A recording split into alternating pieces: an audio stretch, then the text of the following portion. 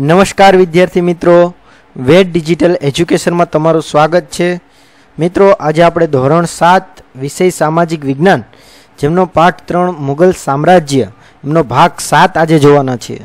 તો શરૂઆત કરીએ ભાગ સાત વિશે. મિત્રો, ભાગ છમાં આગળ આપણે હિન્દુ રાજાઓમાં મહત્ત્વના રાજાઓ જોઈ ગયા, જેમાંના મહારાણા પ્રતાપ, આ સિવાય શિવાજી હતા. તો આ જોઈ ગયા, આ સિવાય મુઘલ સામ્રાજ્યની આપણે રાજ્ય વ્યવસ્થાની વાત કરતી હતા. તો એમાં આજે આપણે મહેસૂલ વ્યવસ્થાની વાત કરવાના છીએ અને રાજ્ય વ્યવસ્થા છે એની સંપૂર્ણ માહિતી લેવાના છે. આ સિવાય વાત કરીએ તો કે જે મુગલ સામ્રાજ્ય હતા, એનો મહેસૂલ વ્યવસ્થાનો વડો હતો. એટલે કે સુલતાન છે એ કોણ હતા? તો કે સુલતાન છે એ મહેસૂલ વ્યવસ્થાનો શું હતો? વડો હતો. સેનાની વડાને મીર બક્ષ કહેવામાં આવતો. એટલે કે જે સેનાનો વડો હતો, મુખ્ય વ્યક્તિ હતો એને કયા નામે ઓળખવામાં આવતો તો કે મીર બક્ષ કહેવામાં આવતો. જે સેનાની ભરતી કરતો અને સેના અધિકારીઓની નિમણૂક કરતો. એટલે કે આ જે મીર બક્ષ છે, એનું કામ શું હતું? તો કે સેનામાં ભરતી કરતો, એટલે કે જે નવા નવા સૈનિકોને સેનામાં ઉમેરતો અને સેનાના જે અધિકારી હોય, એમની નિમણૂક કરતો હતો. તે ગુપ્તચર તંત્રની દેખરેખ પણ રાખતો. એટલે કે જે ગુપ્તચર હોય કે જે છુપા વેશે રાજ્યમાં ફરતા હોય અને રાજ્યની જાણકારી રાખતા હોય, એવા વ્યક્તિઓને પણ તેની પર પણ તે આ વ્યક્તિ છે એ શું કરતો? ધ્યાન રાખતો હતો. કોણ? તો કે મીર બક્ષ. મુગલ વહીવટી તંત્રમાં ગુપ્તચરોને વાક્યાનવીશ વાક્યાન્વિશ તરીકે ઓળખવામાં આવતા. એટલે કે જે મુગલ સામ્રાજ્ય છે, એમાં ગુપ્ત જે ચરો હતા, એને કયા નામે ઓળખવામાં આવતા? તો કે વાક્યાન્વિશ તરીકે ઓળખવામાં આવતા. તો આપણે સવાલ પૂછાય કે ભાઈ ગુપ્તચરોને મોગલ સંત વહીવટીતંત્રમાં ગુપ્તચરોને કયા નામે ઓળખવામાં આવતા? તો કે વાક્યાન્વિશ તરીકે ઓળખવામાં આવતા. તો આટલી માહિતી આપણે યાદ રાખીશું. આગળ વધતા પહેલાં જો હજુ સુધી જો તમે અમારી ચેનલ સબસ્ક્રાઈબ ના કરી હોય તો અત્યારે સબસ્ક્રાઈબ કરી લો, બાજુમાં આવેલા બેલ આઇકોનને પ્રેસ કરો, જેથી કરીને નવી માહિતી કોઈ અપલોડ કરીએ, તો સૌ પ્રથમ નોટિફિકેશન દ્વારા માહિતી મળી રહે. મિત્રો, આ સિવાય આપણી ચેનલ ઉપર અલગ અલગ ધોરણના અલગ અલગ વીડિયો પણ મૂકેલા છે, તો એ પણ તમે જોઈ શકો છો, તમારા મિત્ર, સગા સંબંધીઓને શેર કરી શકો છો સજેસ્ટ કરી શકો છો. તો વાત કરીએ મિત્રો આગળ, તો કે સમ્રાટની અંગત જરૂરિયાતોનું ધ્યાન રાખવા. મીર એ સામાન નામનો વિભાગ હતો.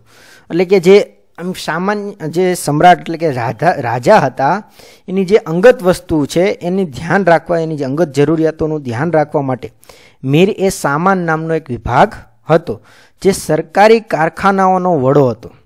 જે કોણ હતો? સરકારી જે કારખાના હતા, એમનો એ વડો હતો, મુખ્ય વ્યક્તિ હતો.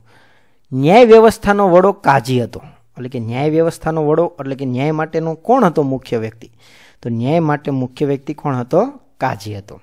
આ બધા મિત્રો આપણે પરીક્ષામાં એક એક ગુણમાં આપણે સવાલ પૂછાઈ શકે કે ભાઈ, સમ્રાટ છે એની અંગત જરૂરિયાતોને ધ્યાન રાખવા માટે કોણ હતો? તો મિરહે સામાન હતો, આ સિવાય ન્યાયનો વડો કોણ હતો? કાજી હતો, સેનાનો વડો કોણ હતો? તો મીર બક્ષ હતો. તો આવા સવાલ આપને પરીક્ષામાં પૂછાઈ શકે. તો આપણે એ આવડવા જોઈએ. આગળ વાત કરીએ.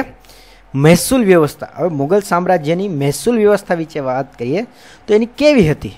તો કે અકબર ભારતમાં એક નવી મહેસૂલ વ્યવસ્થાનો આરંભ કર્યો હતો, જેને મનસબદારી વ્યવસ્થા તરીકે પણ ઓળખવામાં આવતી હતી. એટલે કે જે અકબર છે, એમણે ભારતમાં એક નવી જ મહેસૂલ વ્યવસ્થાની શરૂઆત કરી હતી, આરંભ કર્યો હતો. જેને બીજા કયા નામે ઓળખવામાં આવતું? તો કે મનસબદારીની વ્યવસ્થા તરીકે પણ ઓળખવામાં આવતું. એટલે તમને સવાલ પૂછાય મહેસૂલ જે મુઘલ સામ્રાજ્યમાં મહેસૂલ વ્યવસ્થા છે એ બીજા કયા નામે ઓળખાતી હતી? તો મનસબદારી તરીકે ઓળખાતી હતી.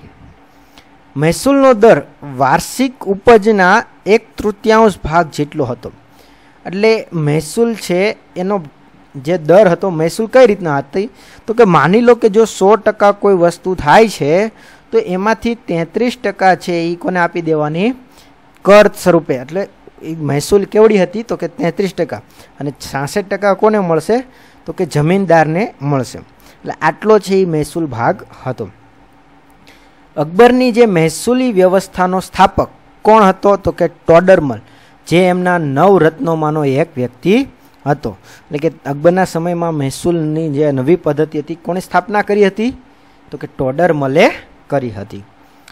મનસબદારી પદ્ધતિ સેના અને મહેસૂલ એમ બંને સાથે સંકળાયેલી હતી. એટલે કે આ જે મનસબદારી પદ્ધતિ હતી એ સેના માટે અને મહેસૂલ માટે બંને સાથે જોડાયેલી હતી, સંકળાયેલી હતી. મનસબ એટલે શું થાય તો કે જાગીર. મનસબ એટલે શું થાય? જાગીર. અને મનસબદાર એ જાગીરનો વડો અથવા અધિકારી ગણાતો. એટલે કે જે મનસબ એટલે જાગીર થાય, પણ મનસબદાર જે હતો એ શું ગણાતો તો કે જાગીરનો વડો અધિકારી ગણવામાં આવતો, એટલે કે જાગીરનો મુખ્ય વ્યક્તિ ગણવામાં આવતો. જે જાગીરમાંથી જે મહેસૂલ ઉઘરાવતો અને તે વિસ્તારનો કાયદો અને વ્યવસ્થા જાળવતો હતો. એટલે એ શું કરતો? તો કે એની જે જાગીર કહેવાય, એમાંથી એ મહેસૂલ ઉઘરાવતો હતો અને તે વિસ્તારમાં કાયદો અને વ્યવસ્થા પોતાનું જાળવતો હતો, એનું પાલન કરાવતો હતો. આ માટે તેને જાગીર પ્રમાણે લશ્કર આપવામાં આવતું. એટલે કે એમનો જેટલો રાજ્યનો વિસ્તાર, એમનું જેટલું શાસન હોય, એટલું એમને લશ્કર આપવામાં આવતું હતું. તે તેના વિસ્તારનો વડો ન્યાયાધીશ પણ ગણાતો હતો. એટલે કે પોતાના વિસ્તાર પૂરતો છે, એ એનો વડો અથવા ન્યાયાધીશ પણ ગણાતો હતો. તેની નિયત સમયે બદલી કરવામાં આવતી, એટલે અમુક સમયે એમની શું કરી દેવામાં આવતી? બદલી, એટલે અમુક ચોક્કસ સમયે એમની બદલી કરી દેવામાં આવતી. મુગલ મનસબદારીની જે વ્યવસ્થા છે એ વિશ્વમાં અનોખી હતી અને વિશ્વમાં સૌથી વધારે વેતન ધરાવતી હતી. એટલે કે કહી શકાય કે મુગલ મનસબદારી જે વ્યવસ્થા હતી, આખી આખી પ્રથા હતી, એ વિશ્વ આખામાં કંઈક અલગ જ હતી, જુદી જ હતી. અને આખા વિશ્વમાં સૌથી વધારે વેતન એટલે કે પગાર આપનારી પણ આ મનસબદારી હતી. તો મિત્રો, આપને સવાલ આવો પૂછાઈ શકે કે ભાઈ મુગલ સામ્રાજ્યની મહેસૂલ વ્યવસ્થાની ઉપર ટૂંક નોંધ લખો, તો આપણે આટલી માહિતી એમાં લખી શકીએ, તો આપને માર્ક્સ પૂર્ણ મળી શકે. તો આટલે યાદ રાખીશું. આગળ વધીએ મિત્રો. મુગલકાલીન સંસ્કૃતિ વિશે વાત કરીએ હવે. તો મુગલકાલીન સંસ્કૃતિમાં વાત કરીએ, તો કે ભાઈ મુગલ યુગના ભારતીય સંસ્કૃતિનો બહુમુખી વિકાસ થયો છે. એટલે ઘણો બધો વિકાસ થયો કહી શકાય. અને બે બાજુનો વિકાસ છે, જેમાં હિન્દુ અને મુસ્લિમ સંસ્કૃતિનો સમન્વય થયો છે. એટલે કે એમાં હિન્દુ લોકોની અને મુસ્લિમ લોકોની જે સંસ્કૃતિ છે, એમાં સમન્વય થઈ ગયો છે, બંને ભેગી થઈ ગયેલી છે. જેને ગંગા જમના સંસ્કૃતિ તરીકે પણ ઓળખવામાં આવે છે. કઈ સંસ્કૃતિ તરીકે ઓળખવામાં આવે છે? તો કે ગંગા જમના સંસ્કૃતિ તરીકે ઓળખવામાં આવે છે. એટલે આપને સવાલ પૂછાય કે ભાઈ મુગલ યુગની ભારતીય સંસ્કૃતિ છે. એને કયા નામે ઓળખવામાં આવે છે?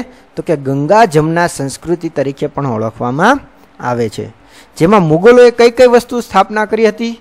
તો કે મુગલોએ અનેક કિલ્લા, મહેલો, દરવાજા, મસ્જિદો, બગીચાઓની સ્થાપના કરી હતી. એટલે કે મુગલો છે, એમણે ઘણા બધા કિલ્લાઓ બનાવ્યા હતા, મહેલો બનાવ્યા હતા, મોટા મોટા દરવાજા બનાવ્યા હતા, મસ્જિદો બંધાવ્યા હતા અને બગીચાઓ પણ એ બંધાવ્યા હતા. હવે જોઈએ કોણે શું કામ કરાવ્યું છે, એની ચર્ચા જો કરીએ તો કે બાબર. બાબરે આગ્રા અને લાહોરમાં બગીચાનું નિર્માણ કરાવ્યું હતું. એટલે કે જ્યારે બાબર છે, એ શાસક હતો, ત્યારે તેમણે આગ્રા અને લાહોરમાં બગીચાઓનું નિર્માણ કરાવ્યું હતું અથવા બનાવડાવ્યા હતા. એમની પછી કોણ આવે છે? શેરશાહ. શેરશાહ છે, એનો મકબરો અને દિલ્હીમાં મસ્જિદ બંધાવી હતી. એટલે કે શેરશાહે સાસારામ જે ક્યાં આવેલું છે? બિહારમાં આવેલું છે. તો શાયર શેરશાહે છે સાસારામમાં મકબરો અને ત્યાં પણ મિત્રો જ્યારે આ જે શેરશાહની આપણે જે સૂર્યવંશને રાત, વાત કરી હતી, એવું કહેવાય છે કે જે આણે મકબરો બંધાયો હતો, એમાં પાછળથી જ્યારે શેરશાહનું મૃત્યુ થયું, ત્યારે એમને એમના દાટવામાં આવેલો હતો. અને એને દિલ્હીમાં એક મસ્જિદ પણ બંધાવી હતી. હવે જોઈએ અકબરની વાત કરીએ, તો કે અકબર છે, એણે આગ્રાનો કિલ્લો બંધાવ્યો હતો. અને આગ્રાથી છત્રીસ કિલોમીટર દૂર ફતેહપુર સિકરીમાં વિશિષ્ટ બાંધકામો કર્યા હતા. એટલે કે આગ્રાનો કિલ્લો પણ બંધાવ્યો હતો અને આ સિવાય ફતેહપુર સિકરી એટલે કે આગ્રાથી છત્રીસ કિલોમીટર દૂર આવેલું છે.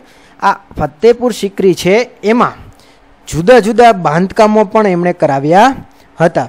એટલે આપને મિત્રો, હવે આ આગ્રા છે અને ફતેહપુર સિકરી છે, એમની સંપૂર્ણ ચર્ચા આપણે છે એ આગળ અલગ વિડીયોમાં કરેલી છે. તો તમે જે તમારા વીડિયો છે, એના ખૂણામાં, આ જે તમારી ફોનની ડિસ્પ્લે છે, એના ખૂણામાં આઈ બટન જેવું કંઈક આવતું, આવું છે, ખૂણામાં આવેલું છે, તો ત્યાં તમે અડીને, એટલે કે એને ટચ કરશો, એટલે તમને વિડીયોમાં ડાયરેક્ટ તમે એ લિંકમાં પહોંચી જશો અને ત્યાં આ આગ્રાનો કિલ્લોની શું વિશેષતા છે? ફતેપુર સિકરીમાં કયા કયા સ્થાપત્યો આવેલા છે? કોણે બંધાવ્યા છે? અને શું શું એની ખાસિયત છે? એમની સંપૂર્ણ ચર્ચા આપણે એ વિડીયોમાં કરેલી છે. તો તમે એ વીડિયો તમે જોઈ શકો છો. વાત કરીએ આગળ, જેમાં ગુજરાતની વિજયની યાદમાં બુલંદ દરવાજો, જે મિત્રો આપણે આગળ જોઈ ગયા હતા કે સુંદર મજાનો જે બુલંદ દરવાજો છે, એ બંધાવ્યો હતો. જે કોની યાદમાં બંધાવ્યો હતો તો કે ગુજરાતમાં જ્યારે અકબરે ગુજરાત જીતું, ત્યારે એની યાદમાં બંધાવ્યું હતું. ક્યારે? તો કે ગુજરાત છે એ અકબરે ક્યારે જીત્યું હતું? તો કે પંદરસો બોતેર તોતેરમાં જીત્યું હતું અને એની યાદમાં બુલંદ દરવાજો, જે વિશ્વનો સૌથી ઊંચો દરવાજો છે. તો આ એની ખાસિયત છે મિત્રો. એટલે કે આ બુલંદ દરવાજો છે, એ ખાસિયત છે એટલે કે આવું એમણે બંધાવ્યો હતો.